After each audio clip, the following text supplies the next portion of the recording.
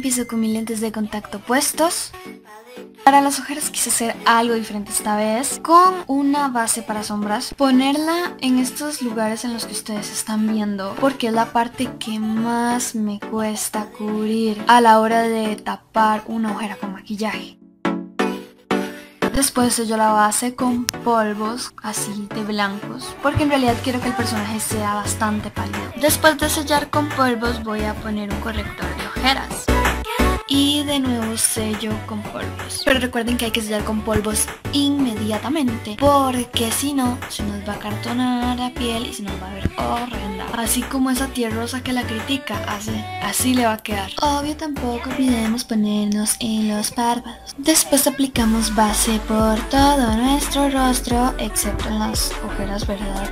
Ya hay demasiado maquillaje. Y sí, sí, sí, se me va todo el maquillaje en mi frente. Ustedes no saben lo que yo tengo que gastar en eso. Pero tener mucha frente tiene sus ventajas por el cuerno de unicornio. Así que, ja, que mate ateos. Y también vamos a ponernos base en los labios. Ya van a ver. Con amor, sensualidad y pasión vamos a aplicar nuestros polvos por todo nuestro rostro. Como yo les dije, había escogido unos polvos que fueran claros, o sea, de hecho es el color más claro que encontré esos polvos. Porque en realidad quiero que el personaje sea pálido, pero esto realmente es opcional, mis amores. Ahora yo lo que hago para mis cejas, esta vez voy a tomar una brocha como de ese tamaño y nada más voy a aplicar sombra porque la verdad es que quiero mi ceja lo más delgada posible para tener una cara más de muñeca. That girl in the club, nigga.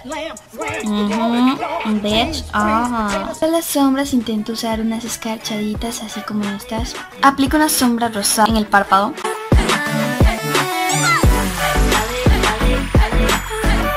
Como por afuera estoy aplicando un moradito tomo una brocha más o menos así y la vamos a utilizar para hacer una pequeña sombra café justo donde hay como una arruguita de viejita en el párpado más o menos como para que se marque más el párpado del efecto de ojos grandes etc. Esas aburridas que siempre dicen en los tutoriales. Sí, soy esa pendeja que abre la boca cada vez que se va a maquillar los ojos.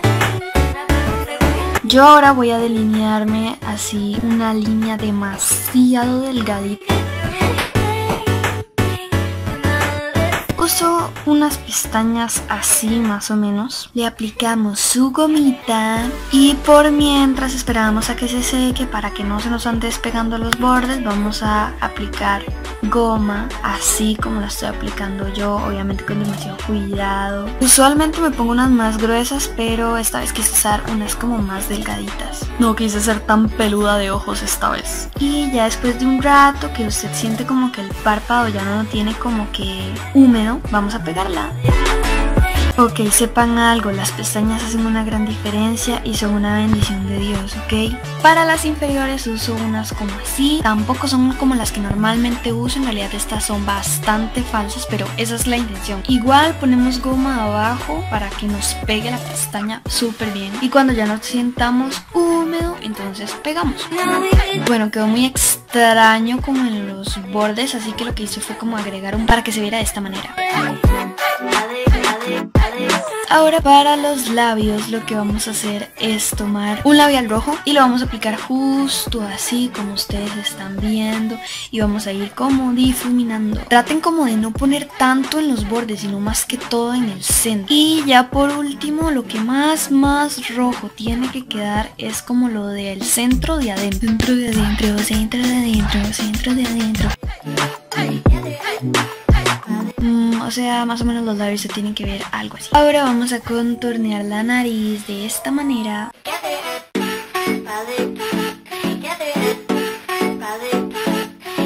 Y vamos a tomar algo que nos ayude a difuminarlo, como por ejemplo esta esponjita que usamos para la base o la brocha de los pobres, las manitas, mis favoritas uso un rubor así como demasiado fuerte. Es uno nuevo que me regalaron y lo aplico de esta manera.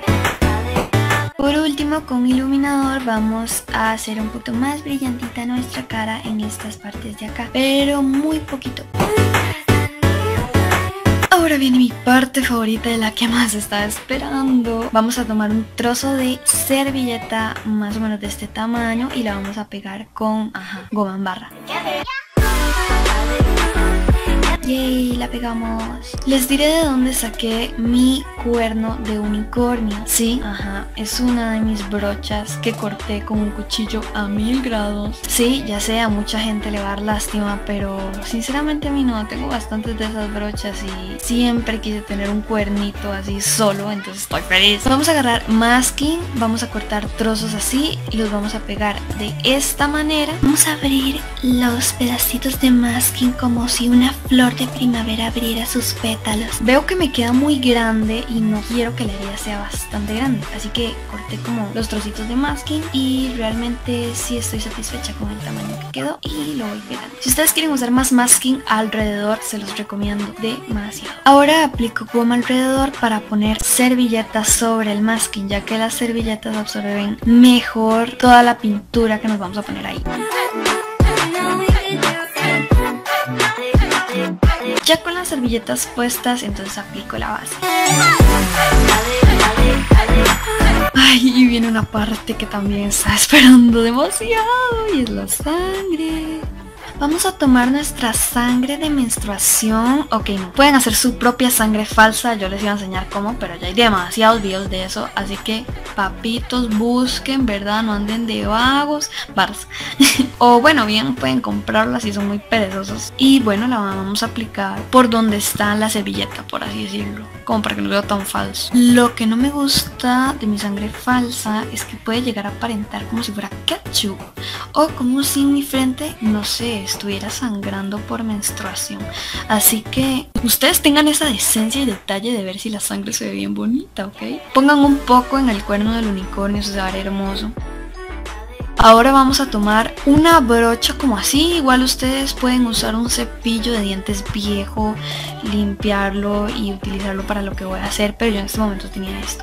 Y vamos a tomar sangre, en este caso yo hice una sangre que fuera más líquida, así que lo que hice fue como hacer como pringuetes, pringuetes, así se dice. Bueno, no sé, inventé esa palabra. Por alrededor, ahí donde lo estoy poniendo yo. Cosa que no se vea tan ketchup.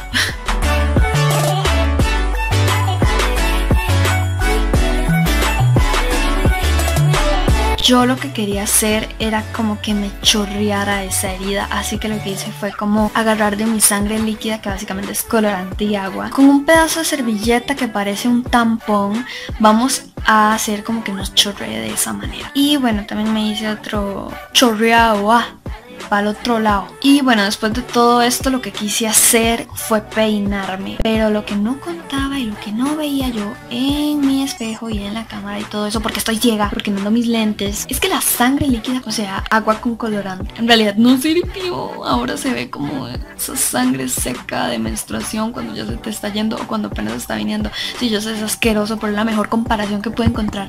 Así que luego me voy a dar un retoque ahí, así que no se preocupen si me ven así ustedes tengan esa esencia. Yo sé que a ustedes les va a salir mejor que yo. Yo sé que sí. Es muy fácil de hacer, créanme. Me quise hacer dos colitas o dos coletas, como le dicen en otros países. Y si ven que mi herida cambia constantemente, por favor, perdónenme. Lo que pasa es que yo soy una manos de caca. Pero para eso estoy yo, para aconsejarlos y que no cometan mis mismos errores. Y mi error fue como, ay, sí, miren un cuerno de unicornio, estoy tan feliz. Que me tocaba eso todo el tiempo. Así que lo que hice fue terminar de despegarlo. Pero a ustedes no les va a pasar si no son manos de caca como yo.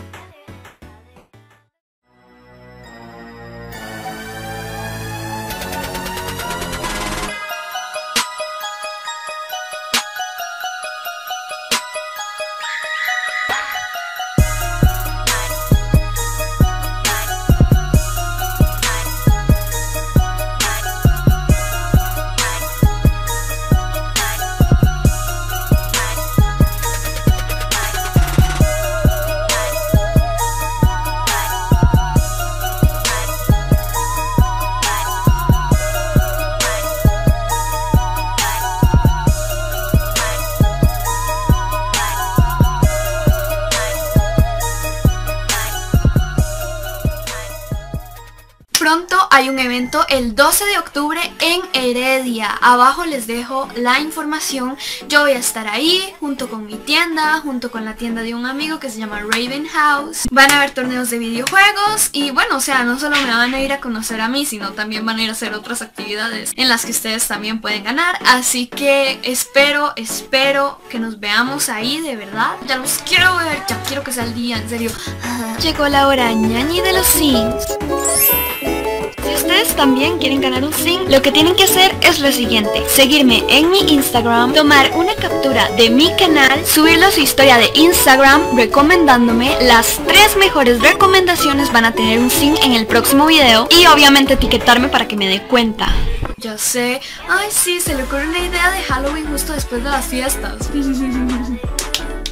Yo sé, pero bueno, al menos les va a servir para el próximo, ¿ok?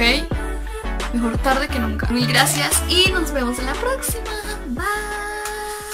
Ah, bueno, y les recuerdo que el botón de me gusta no está de adorno, ¿verdad?